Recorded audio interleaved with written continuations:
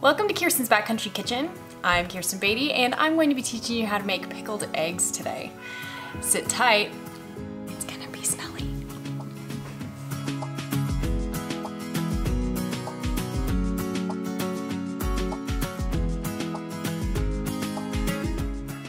Welcome to Kirstin's Backcountry Kitchen. I'm so glad to have you guys back today and I have a great new recipe to share with you. It's actually not a new recipe, it's an extremely old recipe. It is from Beau's great-grandma, Effie O. Baty, and it's pickled eggs. Now, I know these are infamous. You see them on Randy Newberg's channel. You also see them on all of our hunting trips. That's because Beau's obsessed with them and their whole family loves them. So when we got married, it was kind of one of those important things that I learned how to make for him because he loves it. Today I'm going to be using five dozen eggs and I'm also going to put in um, two packages of Polish sausage. Um, I'm going to link below just the single dozen recipe. That is optional to put in half a dozen Polish sausage if you want, uh, but because Beau eats so many, I make a lot at once. Also, it will make your house smell very special for quite some while. It also make, might make your eyes water because it's strong. So we're gonna get right to it. The first things that we have to do is we've gotta get these eggs boiled. It's gonna take about 30 minutes altogether to heat up the water and to get them boiling for 20. I'm also going to, at the same time, cook my sausages. The reason that we do this is to get the grease out of them. Uh, so we want to boil them long enough that it's kind of pulling the fat out of the Polish sausage. That way they last longer once they've been pickled. Um, the other ingredients that we're going to need today are apple cider vinegar, sugar, garlic, pickling spice, and salt.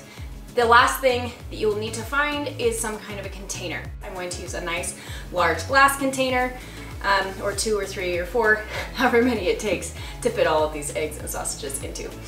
So now that you know what we need, let's get started, and I'm gonna show you how to make pickled eggs.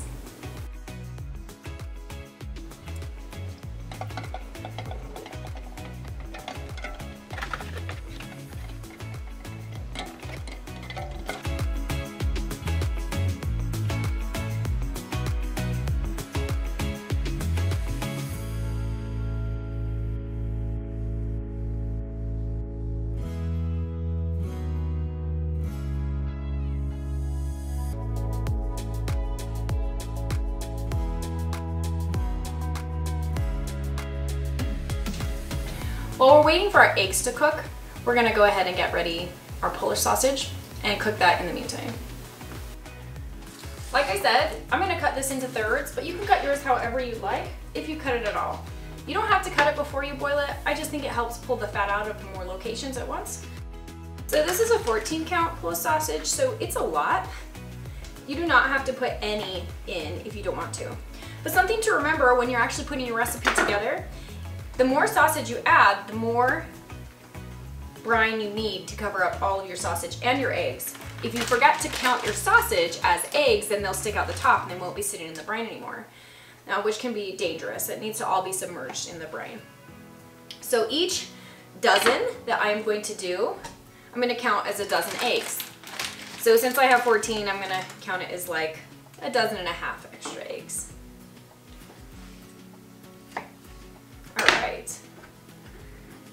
All right, now I've got all of those, I've got all of those cut up and I'm going to fill this pot up with water and just get it to a light boil on the stove and let that go for a while until I remember to take it off. The eggs have been boiling for almost 20 minutes. So in just a second, we're gonna pull them off the stove and just rinse them under cold water, as cold as the tap will go. And I'm gonna just leave that tap water running inside of the pot. A lot of us will hard boil eggs, put them back in the carton and throw them back in the fridge, and then we can't remember which one is which. So this might be a trick that you already know, but if not, you can thank my mama for teaching this to me, and I'll teach it to you. A hard boiled egg spins in nice, beautiful circles because it's solid all the way through. Whereas a normal egg kind of jiggles back and forth. It can't spin very fast. No matter how much I try to, especially the faster I try to spin it, the worse it gets. But with this hard-boiled egg, it'll shake right off the table. It's now time to peel all of our eggs. This takes a minute. I helped you, Mom.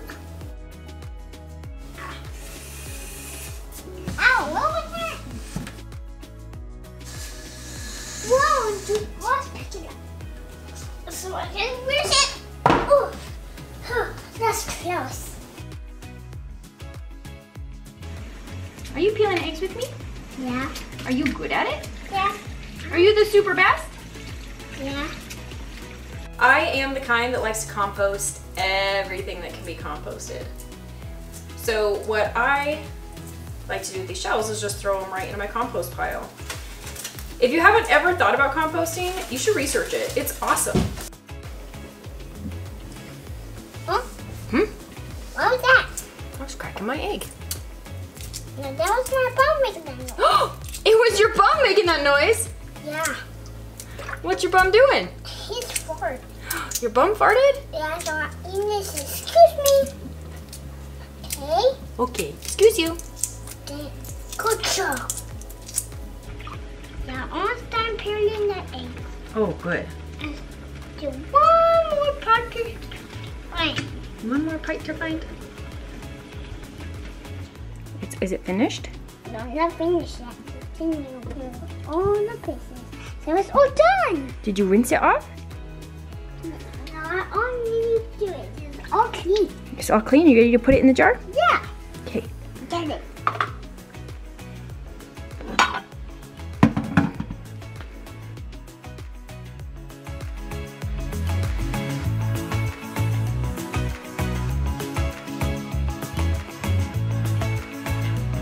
And Mom, look at this.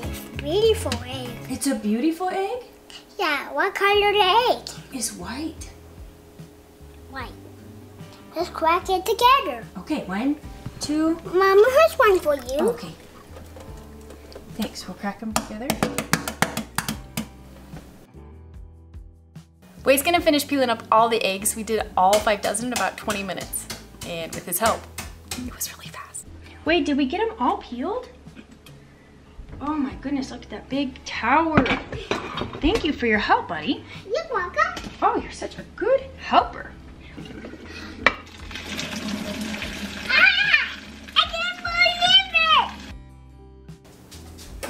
You say, hi everybody, my name's Wade. Hi, everybody. My name is Wade. This is Wade and he's gonna be joining us for the rest of making our pickled eggs. I mean, he already helped peel all of them, so I guess he gets to be here. Those are those are hot. You see them? They're steaming. Okay, so I really like when we were um, peeling these eggs, I just put them into this big jar. That way I know that I need at least a container this big. My sausages are gonna need even more space. So that's something that you can do is put all of it in beforehand and then that way you know how many different brine packets to make. If you're only making one batch, it's lots easier. okay, so while I am preparing the brine, I'm going to have Wade peel some garlic for me. Can you peel some garlic for me?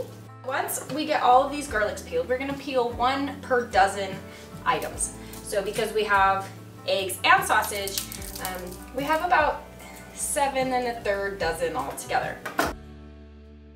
I cut off the end and then I just smash it with the flat blade of my knife and then I pass it to my three-year-old and he peels it. Um, I've got just a little bit more than a cup of sugar done and I'm gonna just put that right into my pot. This is a little piece of cheesecloth um, and what we use this for is to contain our garlic and our pickling spice. And like I said, I have three different containers and I need one for each one. So when I get all of my, my sugar and my brine boiling, these will all be in their own little packages. Uh, I have a teaspoon, one teaspoon for every dozen pickling spice, and I'm going to put just part of all of our different things in each one. So we need 14 cups of vinegar. Do you think we have enough? No. No, we might not. Okay, here we go. It's smelly. Can you smell it? Smell it with your nose. Does it smell like? It smells like Easter time to me.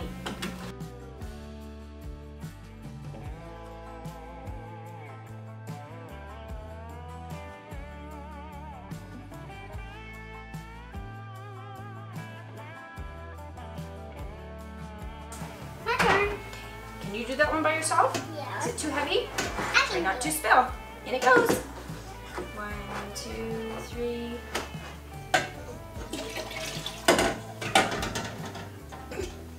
Job, Wade. Okay, we're gonna put that on the stove and let it boil for, how many is this? Two. Count them. One, two, three, four, five. For five minutes. Yeah. Tell them. We're gonna boil it for how many minutes? How many minutes? How many? Five minutes. Yeah. Let's boil it. Yeah. Gonna help me? So this is gonna take us a bit, but Wade is gonna help me fill up all of these jars with eggs and. Okay, how can we do it so you can reach all of it? Put one egg in each jar.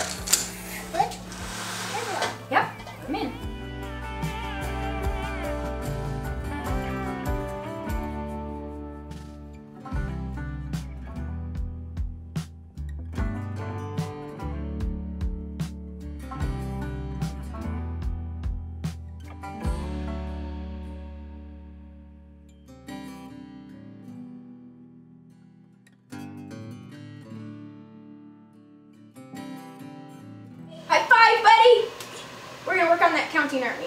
Yeah. All right, we got them all filled up. We've got five minutes. Our brine hasn't started to boil yet, but once it boils, for how many minutes? Five minutes. Yeah. Then we're gonna pour it into our jars, and we'll be done. Mm. Okay, so our brine just got done. I'm gonna go ahead and put one of those little spice packets in each one. It's better if you can kind of get it down in there. It needs to at least be touching the brine. Sitting on the top won't help it to continue to season these. So we're gonna just kind of try to stuff it down in there a little bit. Every year I think, I'm gonna buy a funnel so that I don't spill it everywhere. And then every year I forget and I spill it everywhere. That's all right. So we're gonna fill it until the product is covered. Oh my gosh, it is so strong. Great. Okay, they are all set. So these, you guys, they just go on the counter now. They just sit on the counter somewhere, room temperature, and they hang out for a couple of weeks. The longer you let them sit, oh my gosh, I can't have that right over my. Woo! The longer they sit, the better that they taste. So let them hang out for a little while. Give me a... Can you give me a kiss? I'm sure. You didn't, I didn't hear any sound. That's a big one. Whoa.